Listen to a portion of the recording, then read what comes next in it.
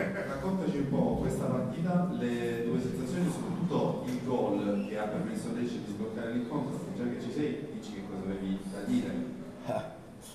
Vabbè, le sensazioni era una, una partita che aspettavamo dopo i punti che abbiamo lasciato a Francavilla, immeritati.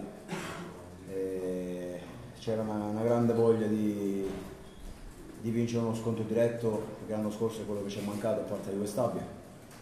Quindi credo che a parte pochi minuti di difficoltà e poi quando siamo rimasti in 10 per il resto credo si sia visto il vero Lecce, il carattere del Lecce, quello che vuole portare a tutti i costi i tre punti, anche se loro sono un'ottima squadra, l'hanno dimostrato, ma credo che oggi mh, non ce ne sarebbe stato per nessuno, anche perché già dal riscaldamento insieme ai miei compagni.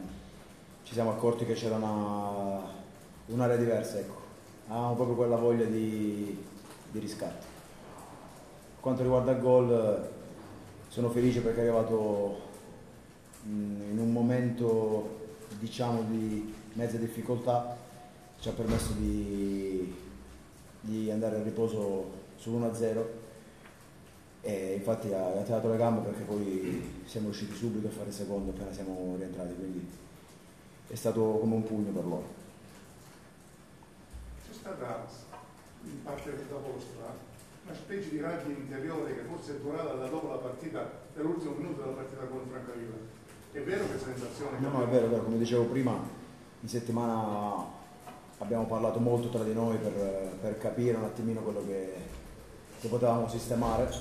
E non possiamo prendere gol in una squadra come noi, con tutti i giocatori esperti in campo al 94esimo, quindi quello ci ha fatto capire che oggi dovevamo dare un segnale, dovevamo dare una reazione e c'è stata abbiamo vinto contro una pretendente come noi. Nel secondo tempo hai in la partita hai giocato dietro la punta. È un, è un ruolo che ti piacerebbe qualche volta, visto anche il tiro che hai, insomma, potrebbe essere una posizione congelata?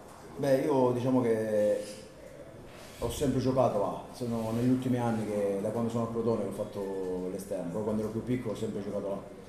Eh, diciamo che ormai mi sono pure abituato a giocare esterno, però se, se c'è bisogno come oggi, siamo rimasti in 10 per dare una mano alla squadra, sono disposto a fare tutto.